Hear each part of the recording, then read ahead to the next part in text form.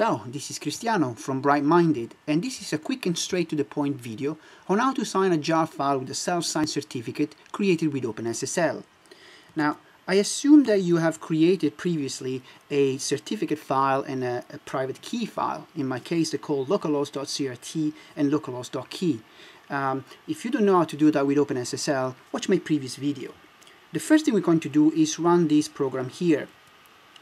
Uh, specifically, we're going to use OpenSSL and the PKCS12 program to create a new file called localhost.p12, which is a combination of the certificate file and the key file. Notice that it asks me for a password that will be used to secure this file. So make up any password and re-enter it again. And now you will notice that you have a localhost.p12 file. Now, as far as uh, Java is concerned, uh, this is basically a key store file. So a file that holds certificate and key data for Java. What we need to do now is merge this certificate data with the data in our existing key store file, if we have one. And we're going to do it like this, using the key tool uh, uh program. What we're doing here, we are saying Please take the file localhost.p12, which is a key store file of type pkcs12, and merge it with the first record in the file, which is called .keystore in my home directory. Now, I didn't have a key store file, so .keystore in my home directory uh, didn't exist. So the program is actually trying to create one.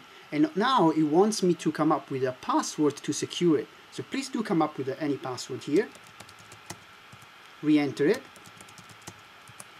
And now the program is asking me for the uh, key store that we just generated, the localhost uh, p12 uh, passwords. And we generated before, so please enter the uh, that password. And now we should be good to go. We should be able to sign uh, a jar file. So let's try it. In this directory, I have a jar file called test.jar and I want to sign it. I'm going to do it with this command here. Notice that it's asking me for the passphrase of the key store. This is the dot key store in my home directory key store. So please do enter that password.